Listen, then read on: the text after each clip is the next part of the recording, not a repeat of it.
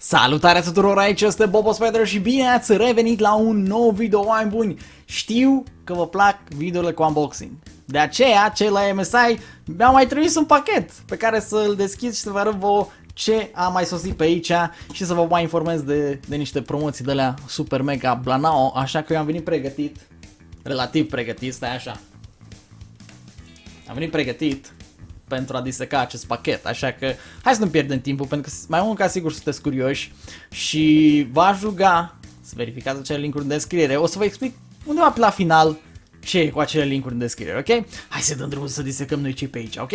Și știu că probabil v-ați uitat de bios la cuțitul meu, dar na, acum nu trebuie să mă judecați pe baza cuțitului pe care îl folosesc. Ok, hai să vedem ce avem aici. Am disecat semi cât de cât cutia asta încât să pot să lucrez destul de repede pe la ea, pentru că cei drept era destul de scociuită și mai avea un strat de piele pe deasupra, să zicem așa, încât a fost nevoie să stau să dau stratul ăla de piele jos și că alte nebunii de genul acesta și știți voi cum e cu pachetele genul ăsta și n-am un cuțit special pentru asta, așa că n-am carambite, fade și alte nebunii de genul ăsta, așa că să mă scuzați dacă folosesc chestii mai rudimentare, ok?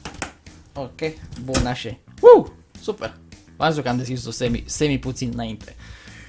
Uh, deja îmi place ce văd. Deja îmi place ce văd. Am primit burete negru.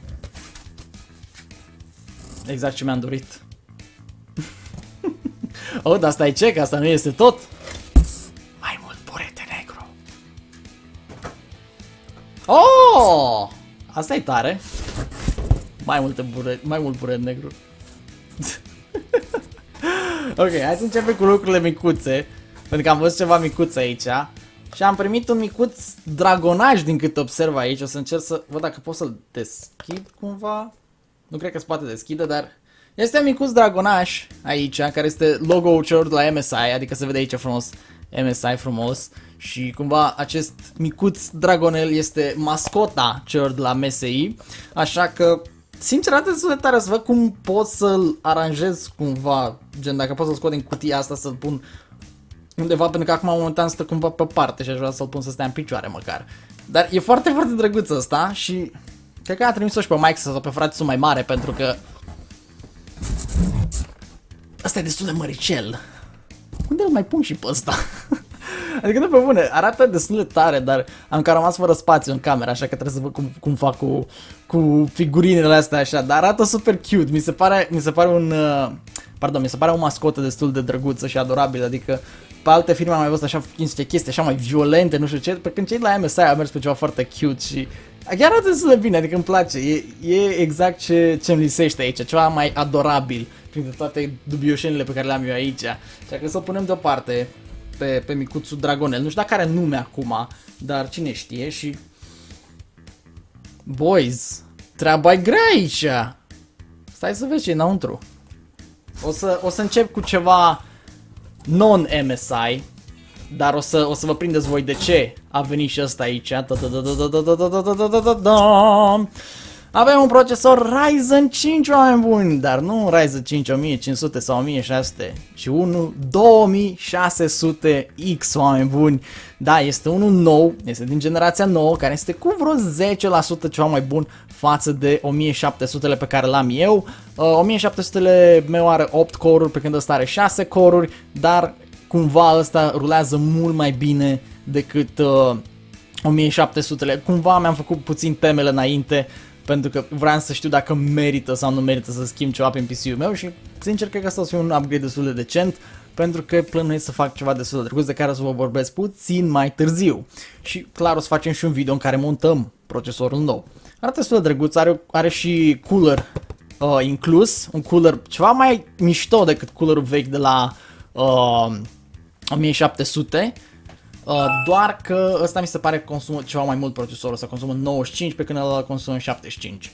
O să punem frumos deoparte aici pentru că trebuie să mai scoatem ceva și anume suportul pentru acest procesor. Vorbim despre o placă de bază, boys!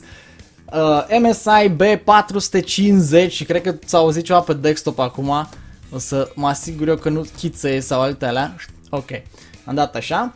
Uh, placă de bază B450 Tomahawk, destul de șmecheră din câte văd eu aici, arsenal de gaming, bio, flashback, plus, USB Type-C, mufă veche de mouse de aia uh, PS2 parcă așa se numea din câte ține minte. Nu știu dacă vedeți voi foarte bine mufa aia de, de mouse.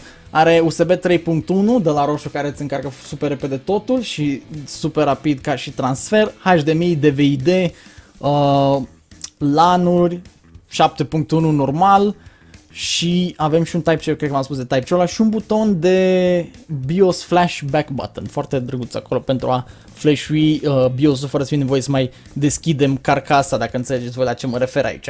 Foarte mișto și este și cu iluminare, abia aștept să o montez vară și vă cum arată totul. O să vină și un video de montare cât de curând posibil, Uh, o să văd cum uh, reușesc să-mi fac timp, probabil că prin weekend o să fac asta, nu cred că o să fac asta uh, zilele astea, dar în weekend cel mai probabil. Și... Ăsta clar este un upgrade față de ce avem noi deja. Un 1070 Ti. Știu că probabil între voi vă așteptați la RTX-uri, dar sincer față de ce am eu acum, uh, ăsta este un upgrade destul de bun pentru că a zis la Assassin's Creed cum face, cum face jocul, în special când filmez, așa că o placă video cu memorie ceva mai mare și cu frecvențe mult mai mari față de 1060 ar fi, ar, ar fi fost necesar. Așa că avem un 1070 Ti, super blană, chiar aici abia aștept să montez să văd cum rulează și să facem și câteva benchmark-uri, pentru că cel mai probabil o să testăm acest sistem cu ce componente mai am eu, o să testăm acest sistem și să facem micuț benchmark cu micuț uh, test pe aici pe colea și să vedem noi cum rulează toată asta și cam asta ar fi tot. Și acum să vă explic puțin care este, care este treaba cu acele linkuri din descriere. Uh, MSI au oferte acum pentru cei care cumpără plăci video de la 1060, 1070, 1070 Ti, 1080 uh, să primească Monster Hunter World gratis pentru PC. Deci dacă îți cumperi una dintre plăcile astea, o să apară o ofertă, că dacă te ții o placă de genul acesta de la MSI, uh, poți primi garantat Monster Hunter World pe PC. Iar cealaltă ofertă legată de monitoare și plăci de bază, pe care v-am mai prezentat-o și în videoul de prezentare a monitorului, dacă vă achiziționați o placă de bază, cum găsiți în linkul din descriere, sau un monitor de care v-am uh, prezentat eu acum câteva zile, puteți primi o copie de Assassin's Creed Odyssey pentru PC. Deci, consultați linkurile din descriere. Dacă aveți întrebări, eu o să încerc să vă răspund la ele în comentarii și oameni buni, că asta ar pe acest video. Dar până data viitoare, oameni buni, nu uitați să dați like, subscribe, share și comment și ne auzim data viitoare. Pa, pa!